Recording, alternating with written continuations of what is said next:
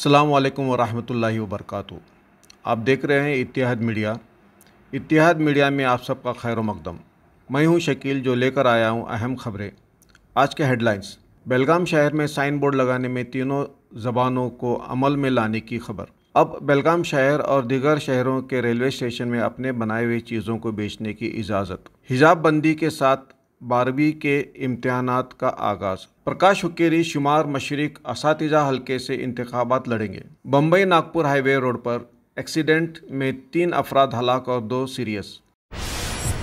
Government office रास्ते, buses वगैरह के नाम के प्लेटों पर महाराष्ट्र एकीकरण समिति का जो मराठी भाषा को शामिल करने की कोशिश जारी थी, वो आज जिला प्रशासन के साथ ही साथ स्मार्ट सिटी और बेलगाम महानगर पालिके के तरफ़ से कन्नड़ के साथ साथ अंग्रेज़ी के साथ मराठी भाषा को भी शामिल किया गया। मराठी को शामिल करने के लिए सालों से कोशिश की जा रही थी। ये तब्दीली देखकर लोग तसल्ली और खुशी का इजहार कर रहे हैं। पहले बसेस पर और ऑफ़िस पर सिर्फ़ अंग्रेज़ी और कन्नड़ भाषा का ही इस्तेमाल किया जाता था।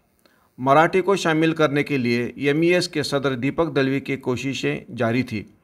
बेलगाम के जिलाधिकारी जनाब हिरेमठ ये समझते हुए कि बेलगाम शहर और अतराफ़ के गाँव में मराठी बोलने वाले लोग बहुत हैं और भाषिक अल्पसंख्यक है। ये मानते हुए उन्होंने दिलासा दिया कि मराठी भाषिक लोगों को मद्देनज़र रखते हुए हम इस पर कार्रवाई करेंगे। जिलाधिकारी अपने दिए हुए वादों के मुताबिक जुमेरात से बेलगाम शहर के रास्तों पर लगने वाले साइन बोर्ड पर अंग्रेज़ी और कन्नड़ के साथ साथ मराठी में नज़र आने लगे। इन फलकों को देखते ही मराठी लोगों में खुशी की लहर दौड़ने लगी। साथ ही साथ अपने समिति के नेताओं को शुक्रिया अदा करने लगे, ऐसा कहा जा रहा है। हुबली विभाग और बेलगाम के साथ पंद्रह रेलवे स्टेशनों पर अब एक स्टेशन, एक उत्पादन इस प्रोग्राम को चलाया जाने वाला है। इस प्रोग्राम में खुद के बनाए गए उत्पादनों को बेचने का मौका मिलने वाला है। इसलिए अब रेलवे डिपार्टमेंट के तरफ़ से रहवासी कारीगर, बुनकर और खेती करने वालों के तरफ़ से अर्ज़ मंगाए गए हैं। अब सफ़र करने वालों कोई भी चीज़ हो, स्टेशन पर ही स्टॉल में स्टॉल में हो या प्लेटफॉर्म पे, या प्लेटफॉर्म पर हो, खरीद कर सकते हैं। हर स्टेशन पर एक ही स्टॉल की इजाज़त दी जाएगी। जो भी चीज़ हो, वह स्वदेशी होनी चाहिए, जिसमें तरकारी और फल की खेती करने वाले भी अर्ज़ भर सकते हैं। जिन स्टेशनों में ये स्टॉल लगने वाले हैं उनमें से ये स्टेशंस हैं, जैसे कि हुबली, धारवाड़, बेलगाम, विजयपुर, बागलकोट गदक कोप्पल, गंगावती, बल्लारी। जिनको भी फॉर्म भरना है, वे लोग इतवार, बतारीख 24 अप्रैल से पहले भरना होगा। या nine seven three one double six eight nine five four इस नंबर पर रबता कायम करें, ऐसे अपील की जा रही है। कल जुमा बतारीख 22 अप्रैल से बारहवीं के इम्तहान हिजाब बंदी के साथ शुरू हुए। इम्तहानात अच्छी तरह से होना है, इसलिए डिपार्टमेंट ने पूरी तैयारी की थी। ये भी इतला दी गई थी कि हिजाब पे पाबंदी लगाई गई है। हिजाब पहने हुए तलबाओं को इम्तहानात में शिरकत करने की इजाज़त नहीं दी जाएगी। दसवीं के इम्तहानात के तरह, बारहवीं के इम्तहानात के लिए ड्रेस कोड का सख्त कानून अमल में लाया जा रहा है। इम्तहानात में कोई गलत काम न हो, जैसे कि कॉपी वगैरह न हो इसलिए सेंटर से 200 मीटर दूरी पर ही 144 कलम का अमल किया जाएगा, ऐसा बताया गया था। सेंटर के अहाते में जेरोक्स मशीन पर पाबंदी लगाई गई है। हर सेंटर पर सीसीटीवी कैमरा के ज़रिए हर वक्त निगरानी की जा रही है, ऐसा बताया जा रहा है।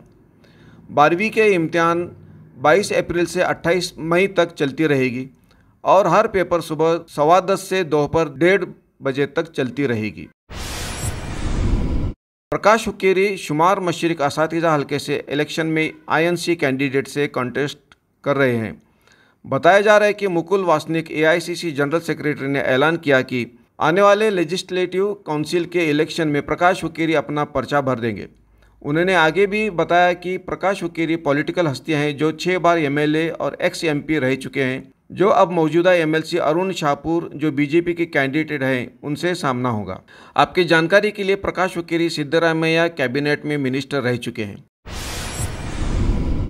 बम्बई नागपुर हाईवे रोड पर एक बहुत बड़े हादसे में तीन अफराद हलाक हुए और दो गहरी चोटों की वजह से हॉस्पिटल में दाखिल हैं। आज सुबह सवेरे चार बजे के करीब बम्बई नागपुर हाईवे पर मेहकर शहर के करीब ऑल्टो कार और लग्जरी बस में आमने सामने से ज़ोर के टक्कर होने की खबर आ रही है।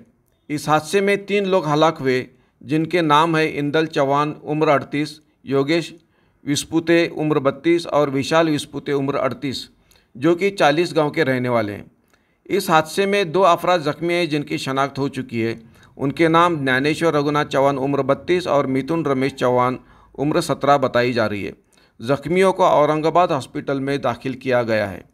हादसा इतना बड़ा था कि कार पूरी तरह से बस के नीचे अटक गई थी। इसलिए लोगों को उनको निकालने में परेशानियों का सामना करना पड़ा। बताया जा रहा है कि लग्जरी बस पूना से नागपुर जा रही थी और कार नागपुर से मेहकर के तरफ़ जा रही थी। पुलिस को हादसे की खबर मिलती ही हादसे की जगह पर जाकर जायजा लिया और आगे की तफ्तीश करने में जुट गई।